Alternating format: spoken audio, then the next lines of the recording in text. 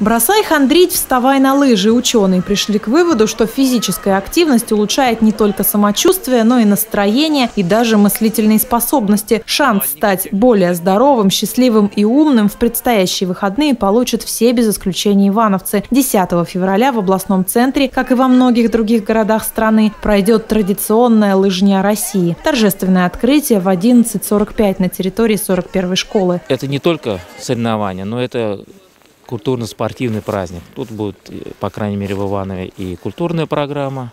Я думаю, что можно будет так назвать это действительно праздником, лыжным праздником. Заранее трассу подготовить не получилось. Карты организаторам спутал сильнейший снегопад, но время еще есть. Погода даже сыграла на руку будущим участникам. Толщина и плотность снежного покрова идеально для лыжников. Погода сейчас стоит замечательная. Будем надеяться как раз соответствовать э, хорошему настроению и непосредственно для участия э, на лыжной трассе. Э, я думаю, Надеюсь, по крайней мере, что такая сохранится и до 10 числа. Многих интересует вопрос, как одеться на лыжню. Организаторы рекомендуют сильно не кутаться, чтобы была свобода движений. Теплая атмосфера, спортивный азарт и горячий чай замерзнуть не дадут. На сегодняшний день к организаторам поступило порядка 500 заявок, но основной наплыв участников ожидается в пятницу. Предварительные заявки э, можно будет подать мандатной комиссии непосредственно в городе Иванове, а комиссия работает по адресу улицы Пушкина Пушкина 28, а, э, время с 10 до 5 вечера.